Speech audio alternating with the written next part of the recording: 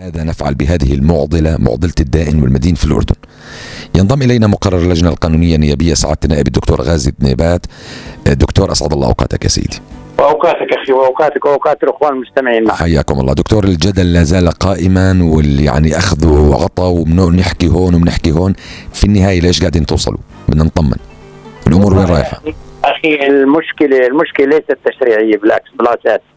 المشكلة مشكلة تراكميه على مدى بال 1975 وقعت الأردن على الميثاق الدولي العهد الدولي لحقوق الإنسان. تمام. هذا العهد يمنع حبس المدينة نهائيا كان بالإمكان الجدول أنفسنا من هذيك الأيام مم. ونسير بخطى متوازنة وخطى متوازنه حتى نصل كما وصل دول العالم كله المتقدم والمتأخر حتى. تمام. وصل لدرجة إنه الغوا حبس المدينة وأصبح الإنسان ثقته بنفسه ثقته بال- بالضمانات اللي بيقدمها للدائن وليس ثقته بالورقة اللي بيقدمها قاعد بالسجن- بالسجن فيها. تمام. الآن وصلنا أخي لنقطة نقطه للأسف نقطة يعني وصلنا لنقطة عقدة وليست حبكة يعني. ليست قابلة للحل لكن نحاول جاهدين نجد حلول معينة. مم. الآن عندما يتحدث رئيس وزير العدل وهذا كلام رسمي أنا مسؤول عنه يقول إنه عدد المطلوبين الان 148 ألف يعني 148 أسرة مهددة بالتشرد 148 ألف أسرة. بال-. بالدين المدني فقط الشيكات ما طرقها لحد الآن كمان ما طرق الشيكات يعني. غير ناهيك عن ذلك. في ما يعاد منهم تقريبا هاي الشيكات وكمبيالات الآن في الأدراج لم تقدم. لأنه صار سنتين موقفين حبس المدينة. فما حدا تقدم بشكاوى. اذا تقدم تقدم نسبة قليلة جدا. الآن بس يعرفوا إنه رجع حبس المدينة راح يطلعوا كل أوراقهم اللي بالأدراج وبالقاصات ويتقدموا فيه فانت بتحكي على مبلغ بتحكي على ربع مليون. ما بتيجي ربع مليون. هل أنا قادر إني اسر 5% منهم. يعني لا مقبولة ماديا. لا السجون تتسع. نسبه الاشغال بالسجون؟ وأيضا كلام رسمي.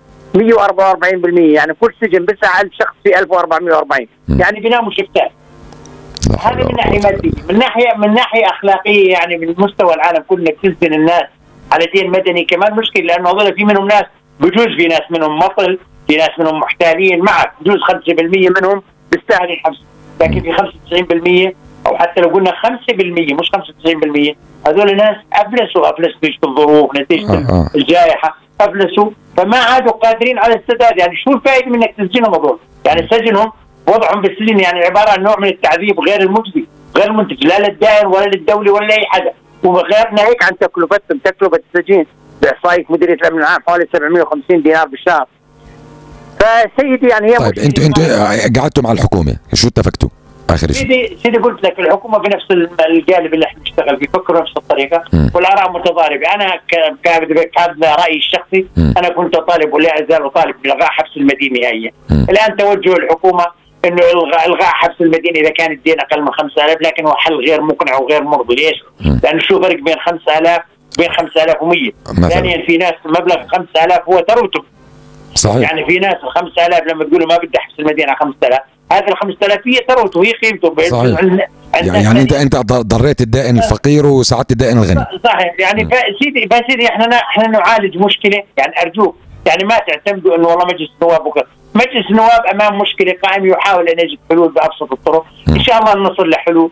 يعني نتأمل إن شاء الله ما ما ما, ما اتفقتوا لسه على شيء معين واضح يعني لحد الان لا نزال بمناقشه مناقشه التشريع، مشروع الحكومة موجود. بين أيدينا، هناك رأي راجح يقول بترك الموضوع طالما المشكلة صنعتها الحكومة فلنترك تشريع الحكومة يعالجها، ما آه. نسوي دور النقص.